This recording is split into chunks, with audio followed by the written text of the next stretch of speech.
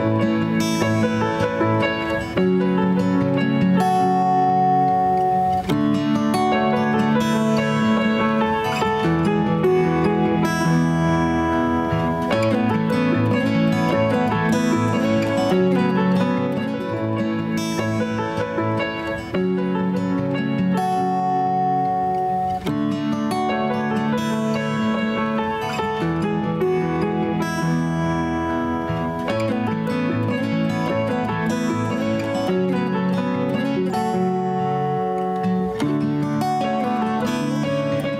sa mga gawa ng mga apostol.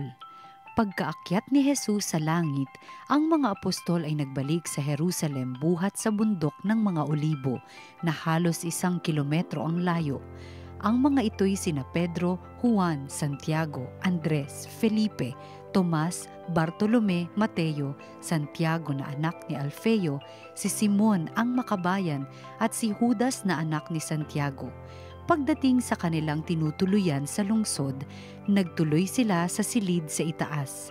Lagi silang nagsasama-sama sa pananalangin, kasama ang mga babae at si Mariang ina ni Jesus, gayon din ang mga kapatid ni Jesus.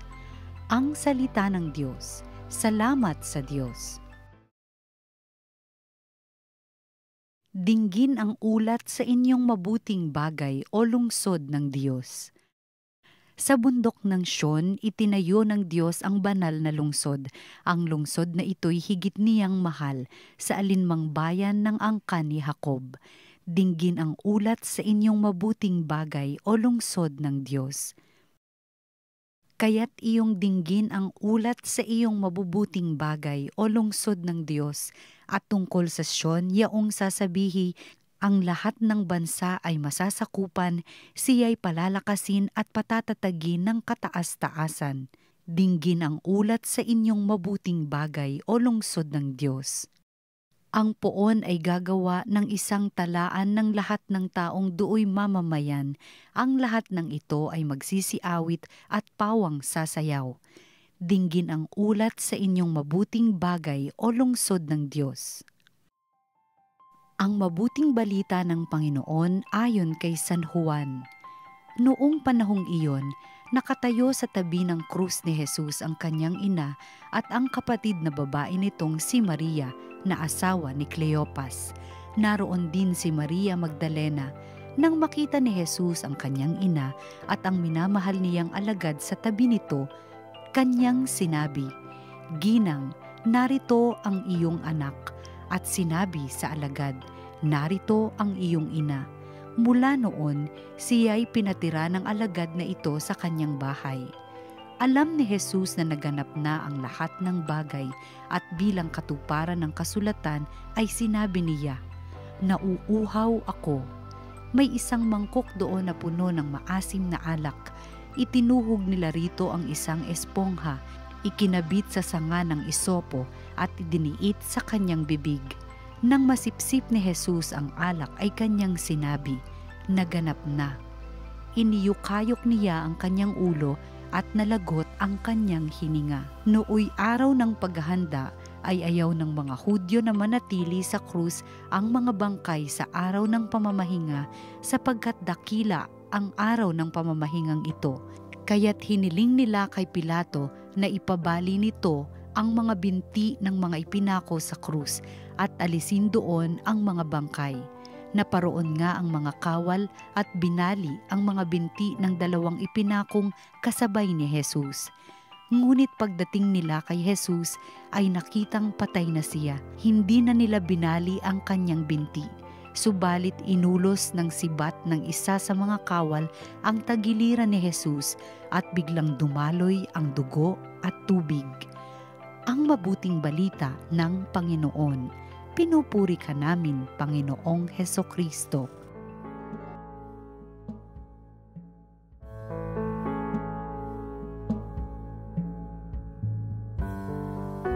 Magandang araw mga kaparokya. Lunes na naman, kaya tara, magnilay po tayo sa salita ng Diyos, salita ng buhay. Kasama po ko, Father Kevin Crisostomo. Today, my dear friends, is Monday after Pentecost Sunday, we celebrate the memorial of Mary, Mother of the Church. Ito mga kapatid ay dineclare po ni Pope Saint Paul VI noong 1964 part of the ongoing conversation back then on the Second Vatican Council. At ito po ay na-include sa ating liturgical calendar ng simbahan as memorial noong taong 2018 nung panahon po ni Pope Francis. One day after Pentecost, sineselebrate po natin si Mary bilang ina ng simbahan sapagkat magkarugtong at natural na magkasama si Maria at ang simbahan. Naalala ko po yung logic na tinuro po sa amin. Christ is the head of the church. The church is the body of Christ. If Mary is the mother of Christ, therefore, Mary is the mother of the church. May ugnayan, may relasyon ang simbahan at si Maria. Natutunan din po natin ang titulo ni Maria bilang tinatawag na New Eve. Sa ating first reading for this memorial, narinig natin pumasok sa mundo ang kasalanan sa pamamagitan ni Eve, the first Eve, sa kanilang paghahangad na maging Diyos o magka, maging Diyos na walang mas mataas sa Diyos. At dahil dito, kailangan magpadala ng magliligtas sa atin.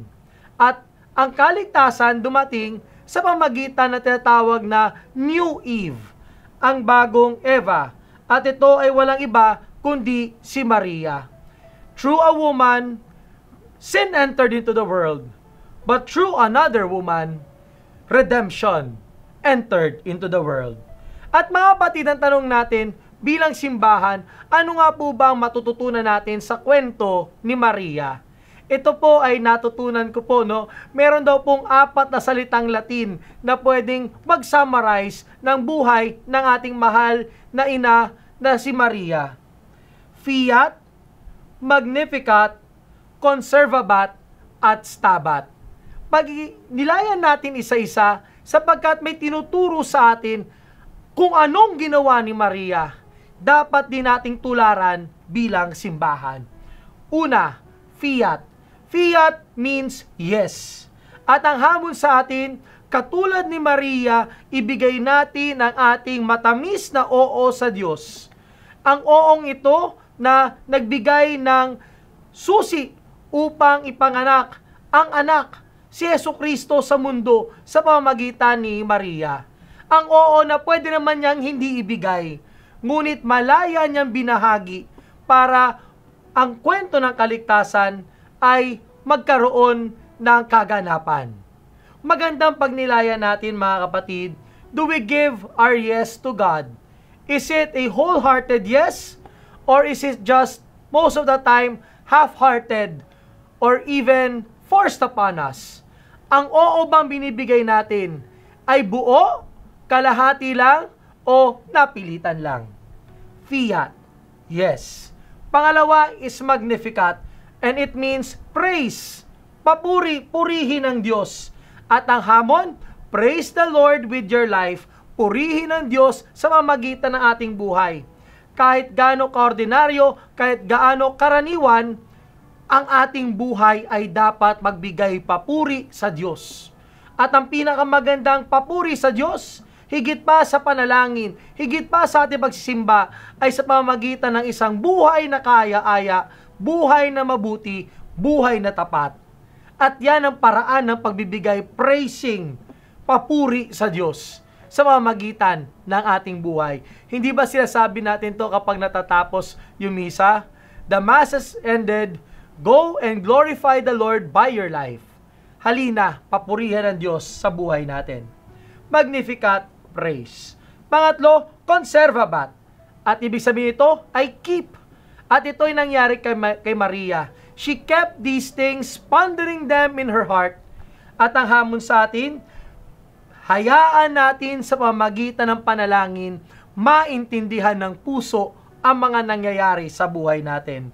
At ito ang magandang ginawa ni Maria, ang pagninilay, ang pagre-reflect. Hindi lang hinayaan dumaan at lumipas ang mga pangyayari, kundi ito'y kanyang pinagdasalan, at higit sa lahat, tinignan paano ito kinokonekta ng Diyos sa kanyang plano sa aking na-experience sa buhay ko. Konservabat, matutong magnilay, matutong tignan, saan ba ako dinadala ng Diyos sa karanasan ko araw-araw. Which brings us to the fourth, stabat. Stabat, my dear friends, means stand, tumayo. At ang hamon sa atin, stand with Christ like Mary on the cross. Sa cross, iniwan siya ng lahat ng mga alagad, paliban na lang kay Juan Bautista. At ang ilang Maria, kasama na ang kanyang mahal na ina. Na sa hirap ng buhay, nakatayo sa atin kasama natin si Maria at kasama natin si Jesus. Hindi tayo nag-iisa sa hirap ng buhay, merong tumatayo para sa atin nandyan para sa atin.